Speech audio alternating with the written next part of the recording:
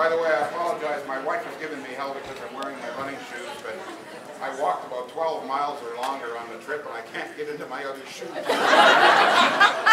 my wife gave me hell because I'm wearing gray socks. well,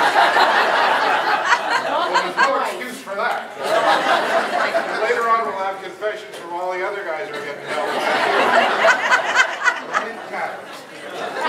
Okay, it's my turn. Good evening.